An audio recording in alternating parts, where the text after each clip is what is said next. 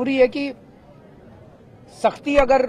Patrolling वगैरह में की जाए, बीट कांस्टेबल का काम होता है कि वो लगातार पेट्रोलिंग करे। यहाँ पे अभी जिससे भी मैं मिल रहा हूँ, सभी लोग कह रहे हैं जी, वो रात को पुलिस वाले दिखाई नहीं देते बिल्कुल भी और